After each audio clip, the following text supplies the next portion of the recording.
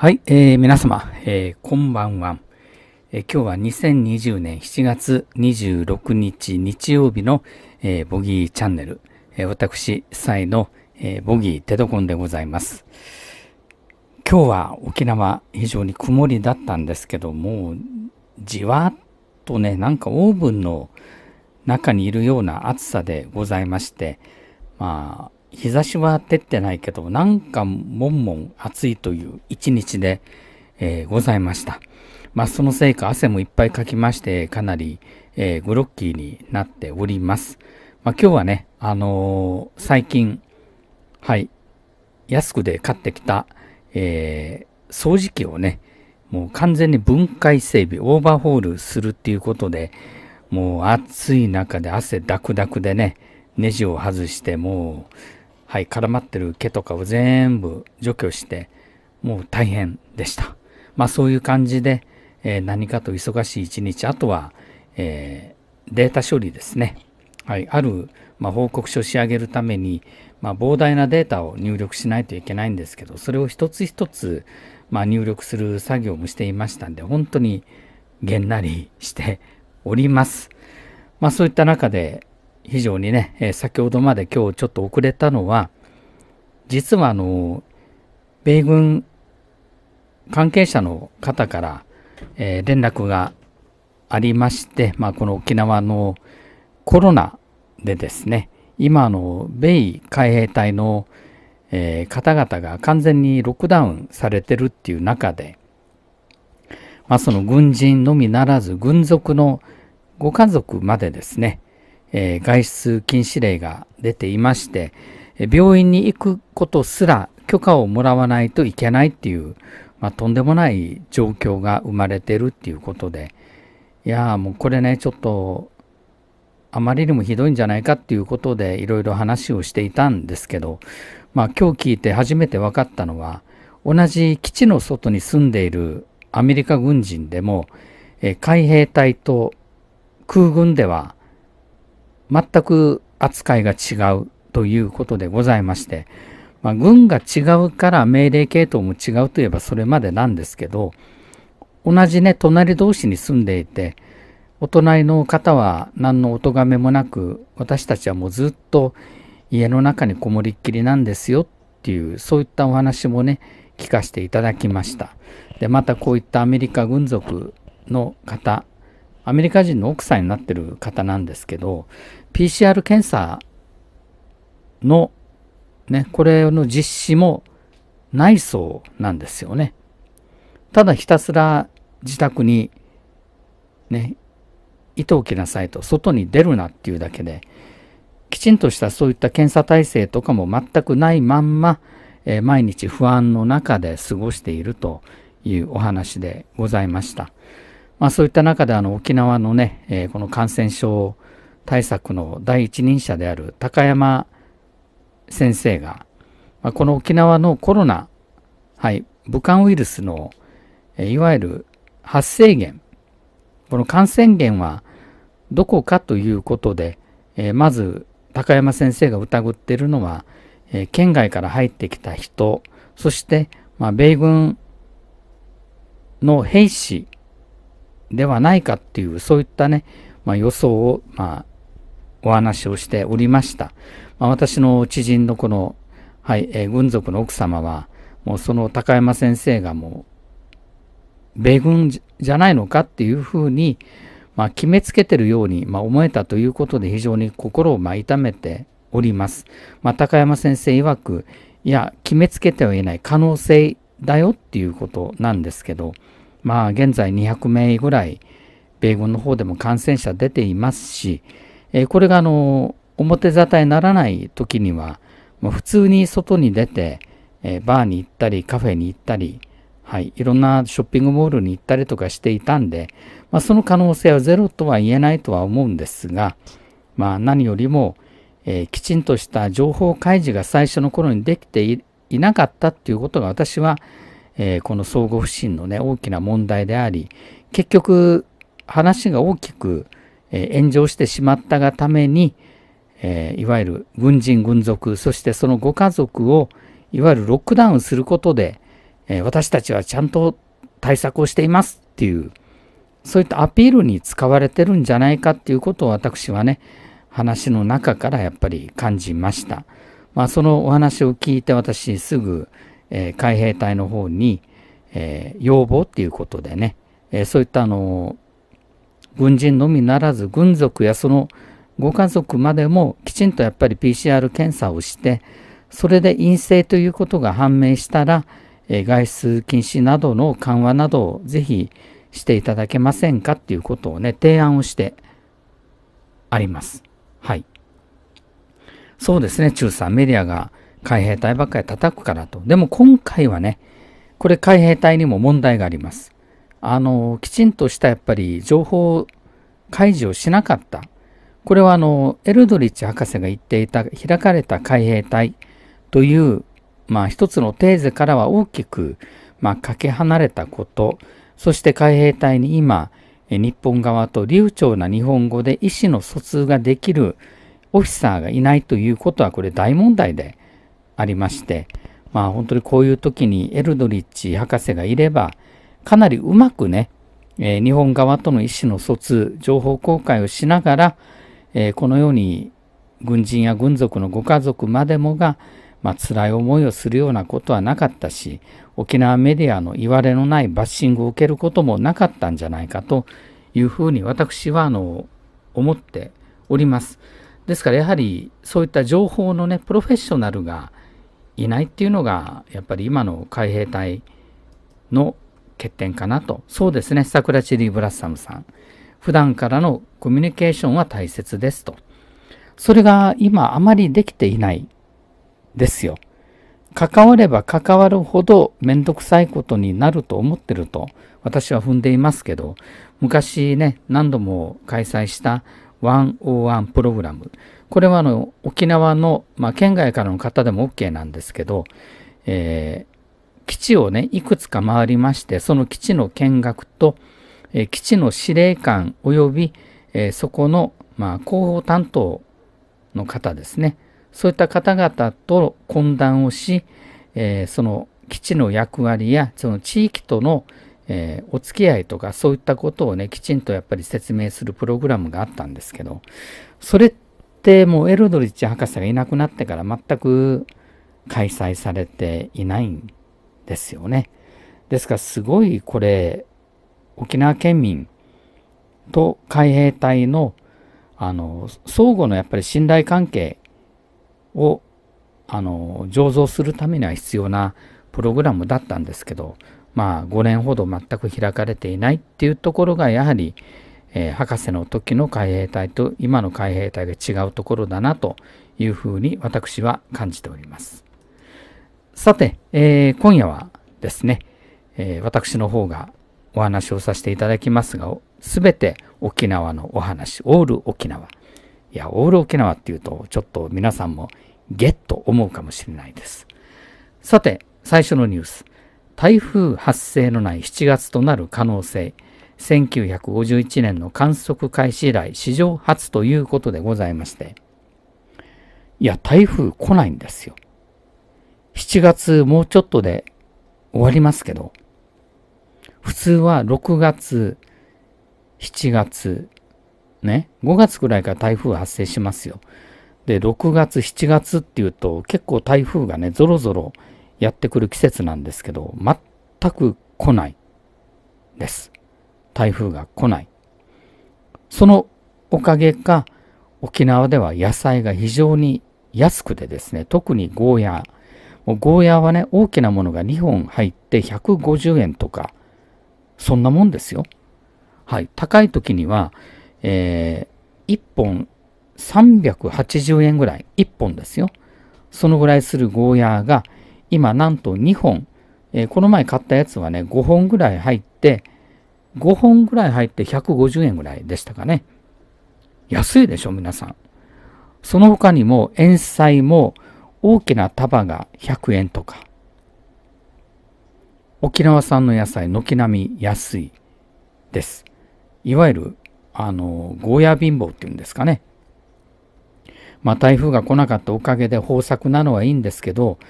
あの出荷量も増えてしまって、まあ、それと反比例して価格は下がってるっていうことでございまして、まあ、野菜好きな方にとっては非常にいいことなんですけど、まあ、沖縄のね、農家さんにとっては、作れば作るほどなんかもう儲からないっていう感じになっちゃってるみたいで、まあこういった時には長雨でね、今、さっき店長が書いてますけど、えー、内地は野菜が高騰しまくってるっていうことですから、まあ、沖縄のそういった野菜をどんどんどんどんやっぱり本土に出すと。まあ、そうなりますと、あの、今度は運賃がかかりますんで、そういった部分を県がね、補助をするなりして、え沖縄産の野菜の消費をね、拡大していただくっていう努力をしていいんじゃないかというふうに思います。それとまあ、さっき店長よくご存知だと思うんですけど、まあ、台風が来ないと、海があのかき混ぜられないために、どちらかというと、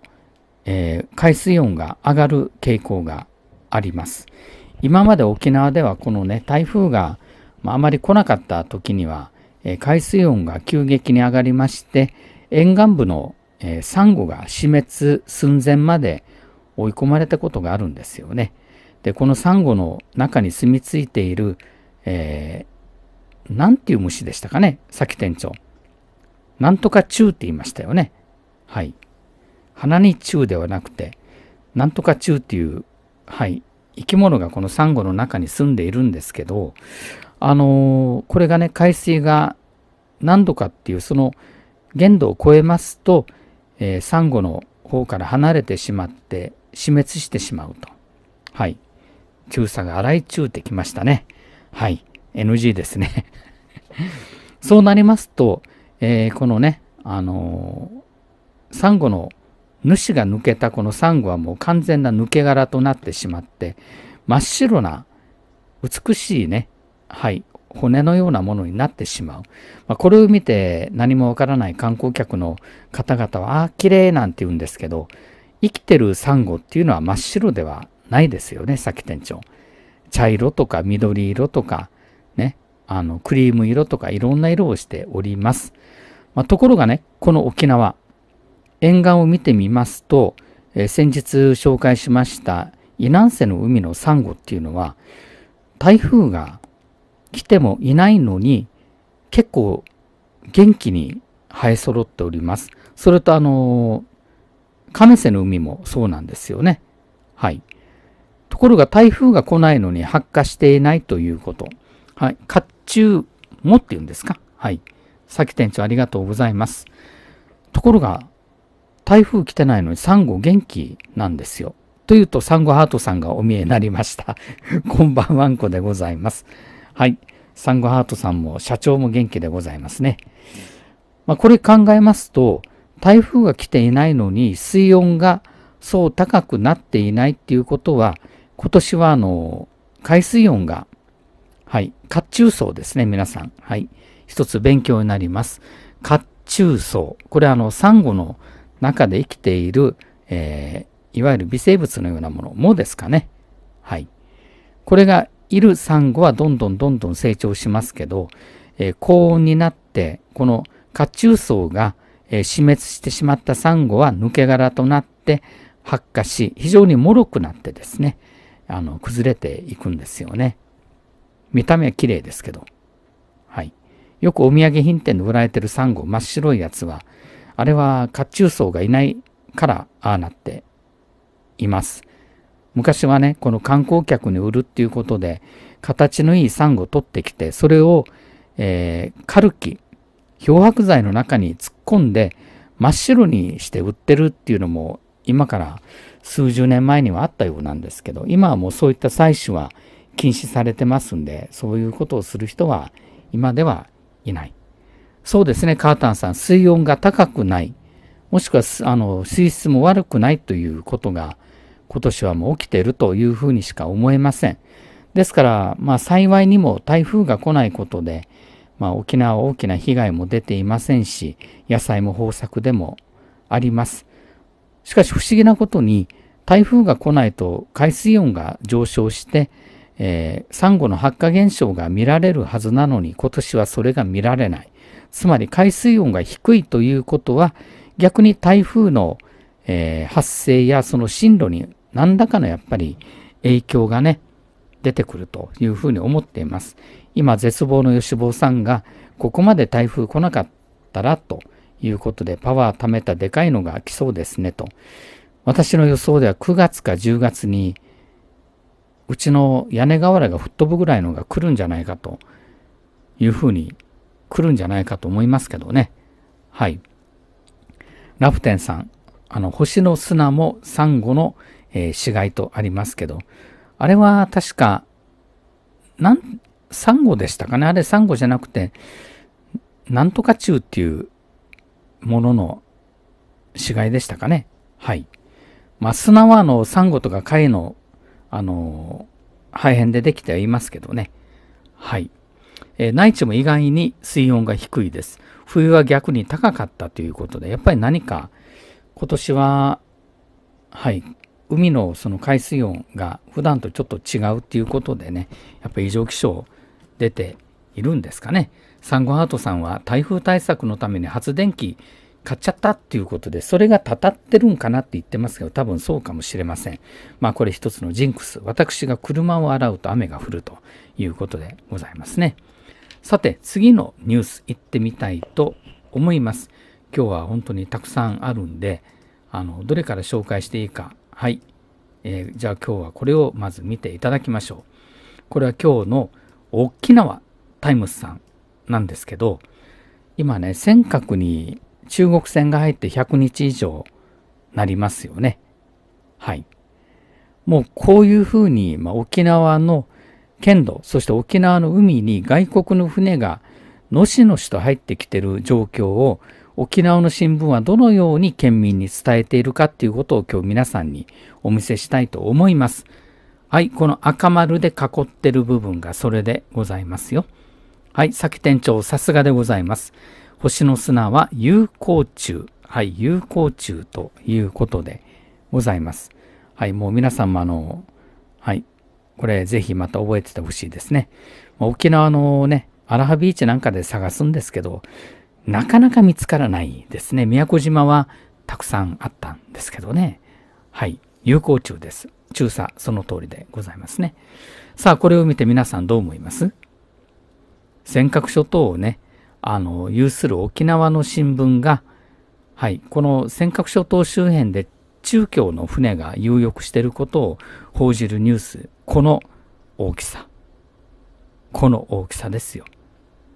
ね。いやはや、本当にね、普通はもっと大きく報道していいんじゃないですかはい。漁師さんにお願いしてね、写真撮ってきてもらったり、動画撮ってきてもらったりとか、やりゃいいのに、全然そんなことせずに、ベタ記事というか、なんて言うんですかね、もう本当にこういった小さな、はい、小さな、まあ、記事しか載っけない。これじゃ沖縄県民がね、もう関心示さなくなるのも当然。沖縄県としての当事者意識がゼロ。まさにその通り。いや、それを狙ってる可能性があるんです。またかといって県民をね、慣れさせることが目的ではないかというふうに私は、あの、思っております。いや、しかし本当にひどいもんでございますね。はい。そしてこれ、えー、26日のニュースなんですけどね。沖縄コロナ感染状況は、えー、流行警戒期、玉城デニー知事レベル引き上げ、応じた対策は27日以降に決定ということでございまして、何の対策も立ててなかったんですかね、知事は。いや、普通はね、普通だったら、この時にはこういう対策をする、この時にはこういう対策をするっていうことで、きちんとやっぱりね、対策考えてるはずなんですけど、レベルをね、一つ上げてこれから対策を考えると。白神さんどうもこんばんはんこでございます。はい。まさに、ね、尖閣のこともそうなんですけど、桜チェリーブラッサムさんの言う、県としての当事者意識がゼロと。いや、もう第2波ですよ、これはね。はい。あの、米軍の中でも200人超えてますし、沖縄県民もどんどんどんどん今感染者増えてますし、観光客増えてますし、もう誰のせいでこれコロナが来たなんて言ってるレベルじゃなくなってると思うんですよね。はい。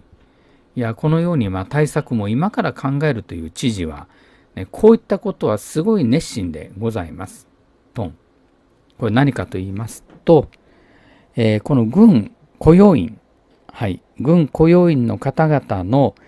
いわゆる PCR 検査の場に、えー、玉城デニー知事が現れたということで、これ沖縄タイムズさんの記事。いやー、これ沖縄タイムズさんもうさすがに知事の振る舞いに怒ってます。怒ってます。全然宣伝していない。見出しが、知事振る舞い、違和感の声と言ってね、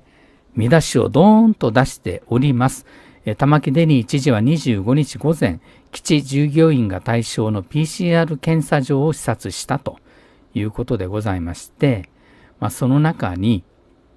防線引っ張ってます。検査を受けた従業員からは、イベントのような振る舞いに違和感も漏れた。問診ブースで玉城知事は、基地従業員と同じように免許証を出し、個人情報だから撮らないでとカメラを前に笑顔。笑顔だそうです。氏名や勤務先を聞かれ、県庁基地科学捜査隊と答える場面もあったと。これね、保守系の主張が同じように、ね、県庁、何ですかこれ？県庁基地科学捜査隊？これ皆さんどう思いますこれ？県庁基地科学捜査隊。大丈夫ですか？これ、沖縄県知事。そう。ボギー中佐バカにしとんのかと。うん、それよりやることあるんじゃないと、カータンさん。いや、私これ聞いて呆れた。ね、これ多分これを聞いて、さすがの沖縄タイムスの記者も違和感を覚えたんでしょうね。非常に手厳しい記事の内容になっていますけど、後でね、これ私、あの、ツイッターに、えー、新聞の切り抜き載っけますんで、ぜひ皆さん、どんどん、はい、えー、拡散していただきたいと思いますけど、先日、隅という言葉をね、発して大問題になったんですけど、今度は、県庁基地科学捜査隊。あのね、ここにどんな思いをして、基地従業員の方々が来ているのか、この方は分かってるんですかね。だってね、今の家族に、えー、この基地従業員がいるっていうだけで、仕事来るなと言われるね、職場も出てきてるんですよ。ね。生活の糧である職場に来るなと。お前の旦那さん、基地従業員だから来るなと。そんなね、辛い思いをね、させているという自負の念になってる基地従業員の方々いっぱいいるんですよ。ね、基地従業員の子供だから学校に来るなとか、こんなこと言われてるんですよ。そういったところでね、まるで浮かれてるように、県庁基地、科学捜査隊、笑顔になったそうですよ。はい。大丈夫ですかこれ。ね。おかしいですよ、これ。そしてね、下の方。はい。えー、検査を受けた基地従業員の30代女性。知事にやってほしいのは、検査をイベントに仕立てることではなく、私たちの生活の保障、アピールなら基地従業員を差別しないでと発信してほしかったと。まさにその通りですよ。そしてね、現場でもすごい困ったと思います。はい。えー、ね、このあのー、検体のね、唾液を受けるブース。ね。ブースっていうのは感染リスクの高いレッドゾーンと言われてるんですよね。そこになんと医療用のガウンと手袋、フェイスシールドをつけ、ね。玉城知事がそこに入っていったと。入っていった。報道陣との質疑の後は、えー、検体の受け取り、えー、ブースへ戻ってガウンなしで記念撮影をしたと。もう完全にイベントですね。これ後でね、本当に載っけますんで、皆さんぜひ見てください。あの、民主党政権の時もありましたよね。俺は原発の専門家だって言って、福島県に乗り込んだ方もいましたよね。はい。あれと同じことだと思いますよ。現場からしてみたら、ね、その、こういったね、検査をやるためのいろんな施策とかをね、やって実行してくれるのはありがたいと思うけど、こういった人が現場に来てね、こうやってイベントのように書き回すのは迷惑でしかないと思うんですよね。そう、カルガモさん、現場の人の気持ちを魚で。いやー、本当にひどすぎる。サトシさん、遊びで来るなと。その通りですよね。私もそう思います。あの、後でね、後で載っけますんで、ぜひ皆さんこれご覧になってください。もうね、本当に嘆かわしい。さすがのね、沖縄タイムズさんもそういうふうに思ったみたいですね。はい。それと、相変わらずの沖縄の新聞。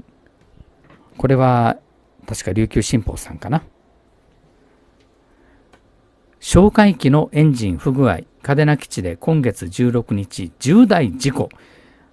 アメリカが非公表ということで。はい。え米軍、嘉手納基地で今月16日、はい、エンジンに関する不具合を生じ、えー、緊急着陸をしたということでございまして、それをね、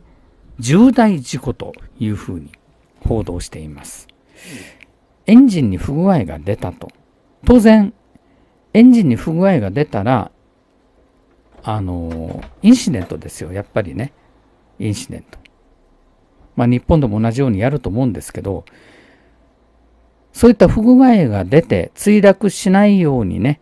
どうにかこうにか、あの、木を操縦し、安全に着陸をさせたわけなんですよ。それって、不具合でいいんじゃないですか？何も事故を起こしたわけではないと思うんですよね。はい。そうですね。あの、サンゴアートさん、事故ではなく事故回避対策。事故にならないために、最善を尽くした結果、嘉手納基地に無事に戻ってきたわけなんですよ。それをことさら重大事故だ、重大事故だっていうふうに大騒ぎをしている琉球新報さん。しかし、記事は有料記事。詳しいことは見せずに、見出しだけでね、もう見る人たちを先導しようとしてるのが見え見えですよね。はい。そうですね、桜チェリーブラッサムさん、事故とインシデントは違うと。インシデントというのは重大問題ですよね。事故じゃないんですよ。事故にならさせないために、しないために最善を尽くして安全に着陸をしたということなんですよ。ですからこのエンジンがね、不具合を起こしたっていうことはやはりこれは非常にまずい問題なんで、はい、インシデントとして扱われるのは当然だと思いますよ。しかしそれをね、事故、事故というふうに判断するこの新聞というのは、いかがなもんなんですかね。私は非常に不思議に思っております。こういったことが沖縄ではね、つどつど起きていますけど、本当に異常すぎますね。まあでも、この沖縄の、えー、米軍、まあ4軍います。えー、陸軍、海軍、空軍、海兵隊。まあそういった中で、えー、このね、コロナに対する、まあ、いわゆる軍人、軍属、その家族の対応が所属する軍によって違うっていうのが今日初めて分かったっていうのはちょっと私もびっくりでありまして、そういった中でずっと、まあ、自宅の中に軟禁状態に置かれている方々がいて、ストレスはもう本当に限界に達しているっていうことをね、ぜひ皆さんにも、えー、分かっていただきたいと思います。私はあの海兵隊のページから、あのこういった軍人軍属のご家族の方々にもぜひ PCR 検査をして、えー、陰性ということであれば、えー、外出の緩和をね、ぜひやってほしいということをね、まあ、お願いをしてあります。はい、ということで今日もあっという間に時間が来てしまいました。はい、えー、本当は今日は私お休みしようかなと思ったんですけど、ぜひとも喋りたい内容がたくさんあったんでね、今日はお話をさせていただきましたが、まあ、沖縄の今を感じていただければ幸いかなと思っております。まあ、今日でまた連休も終わっちゃいましたけど、はい、明日また、えー、チャンネル桜もありますし、夜のキャスもございますんで、ぜひまた皆さん、明日もですね、えー、お時間があればお付き合いいただければ非常に嬉しいかなと思っております。まあ、今日はまた日曜日ということで、これからシェリーさんの拉致被害者奪還キャスの方もございますんでね、よろしければその方もまたご覧になっていただいて、まあ、この日本から連れ去られた、えー、日本人拉致被害者に対してのやはり思いをね、強くしていきたいなと思っております。ということで、本日の放送、これにて、え終了させていただきます。え皆様、今夜もお付き合い誠にありがとうございました。